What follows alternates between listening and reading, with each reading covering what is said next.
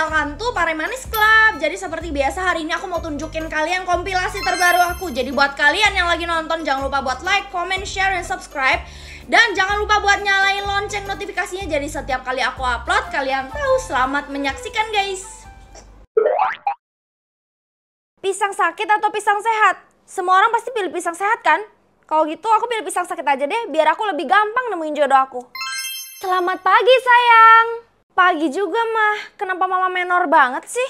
Mama kan emang kayak gini tiap harinya. Kamu lupa nama mama kan Menorita. ya udah yaudah terserah mama deh. Kalau gitu aku ke sekolah dulu ya mah.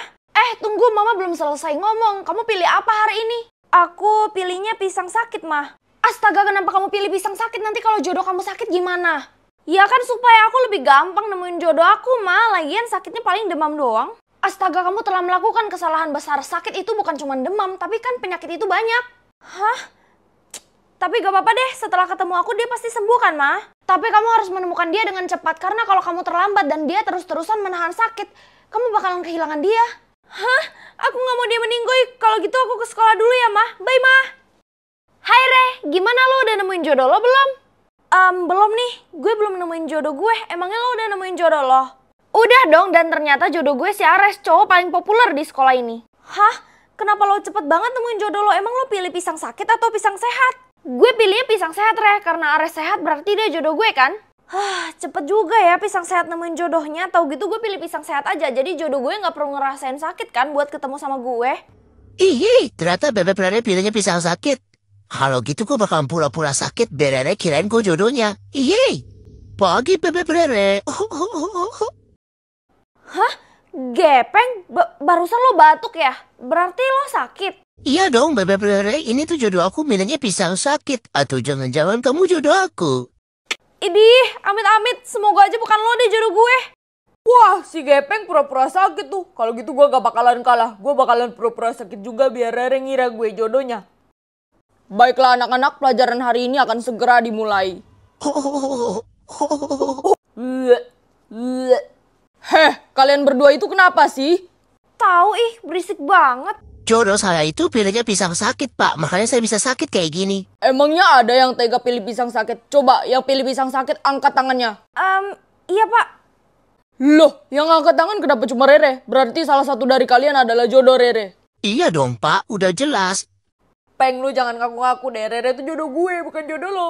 Ih, apaan sih? Pokoknya kalian berdua tuh bukan jodoh gue ya, dan gue nggak akan mau. Hai Rere, ini jodoh gue yang namanya Ares yang kemarin gue ceritain itu. Yang namanya Ares itu kan, sebenarnya gue udah tahu sih, soalnya kan dia terkenal banget di sekolah ini. Salam kenal ya Ares. Salam kenal juga Rere. Um, sorry sorry Re, gue gak sengaja nabrak lo. Um, gak apa-apa kok. Lo gak apa-apa kan? Berhubungan kebetulan kita lagi berdua, lo mau gak nolongin gue? Nolongin lo gimana maksudnya? Bantuin gue dong buat temuin jodoh gue. Hah? Gimana caranya? Bukannya jodoh lo Angel ya? Bukan, Angel bukan jodoh gue soalnya pilih pisang sehat. Ya terus kenapa kalau dia pilih pisang sehat berarti dia jodoh lo dong? Karena kan lo sehat. Siapa bilang gue sehat? Maksud lo apa sih? Terus kenapa lo selalu pakai topeng kayak gini? Ya udah gue bakalan buka topeng ini biar semuanya lebih jelas. Tapi lo jangan kaget ya. Iya, santai aja kali. Hah? Kelompok merah? Ini maksudnya apa ya, Mah? Wah, bagus dong sayang kalau kamu dapat warna merah, ini artinya kamu dalam keadaan aman. Emang kalau merah kenapa aman ya, Mah? Ya aman lah, karena kalau kamu dapat warna biru, kamu harus bersembunyi sayang, karena tim merah akan menghabisi tim biru sayang. Wah, berarti aku harus mencari tim biru dan menghabisi mereka, Mah. Betul sekali sayang. Sebelum gue beraksi, kayaknya gue harus bohongin teman-teman gue deh kalau gue dapat warna biru supaya mereka nggak curiga kan sama gue. Eh, si Rere anak culun udah datang tuh. Orang lemah kayak dia udah pasti dapat warna biru lah. Iya, jadi kita nggak perlu takut sama dia. Hai guys. Heh, culun, lo dapat warna biru kan? I iya kok, aku dapat warna biru. Udah gue duga orang lemah kayak lo nggak mungkin dapat warna merah. Lagian kalau lo dapat warna merah, lo nggak mungkin bisa ngelawan kita. Jadi gimana? Sekolah kita aman kan? Gak ada yang dapat warna merah? Gak ada, Pak. Kalau gue tahu siapa yang dapat warna merah, gue habisin tuh orang. Emangnya lo kuat, Peng? Ya kuat lah. Melindungi Bebek Rere aja aku sanggup, apalagi melindungi kalian. Bleh. Aduh, gawat. Berarti yang dapat merah di sekolah ini cuma gue dong. Gimana gue bisa habisin mereka yang sebanyak itu? Lo tenang aja, karena ada gue. Gue siap membantu lo. Hah? Please, jangan kasih tahu ke siapa-siapa kalau gue dapat warna merah. Apaan sih lebay banget? Gue juga dapat warna merah kali. Hah? Berarti lo sama kayak gue? Iya, sekarang kasih tahu gue. Siapa orang pertama yang mau lo habisin? Um, aku nggak suka sama Angel, soalnya dia suka ngerendahin aku. Kalau gitu gue bakalan ngebantuin lo. Hari ini acara ulang tahun gue, dan gue bakalan ngundang semua murid yang ada di sekolah ini. Dan itu kesempatan lo buat ngabisin Angel. Hah? Apa? Hey, kalian mau datang ke acara ulang tahun gue nggak? Wah, Bebek Ares mau ulang tahun. Aku pasti datang dong. Ih, sok ganteng banget sih. Kalau nggak ada Bebek Rere, aku nggak mau dateng. Dikit-dikit Bebek Rere, emangnya Rere mau sama lo? Udah-udah jangan ribut. Aku datang kok ke acara ulang tahunnya Ares. Yes, kalau gitu nanti kita pakai baju kembar ya. Ih, apaan sih? Si Rere itu caper banget sih. Masa dia mau datang ke acara ulang tahunnya Bebek Ares? Gimana kalau lo kerjain dia aja? Kerjain? Gimana caranya?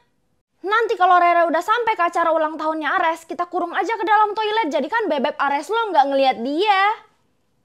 Ide bagus, Elsa. Gimana? Lo udah siap sama rencana lo? Udah, gue bakalan taruh sesuatu ke minumannya Angel. Bagus.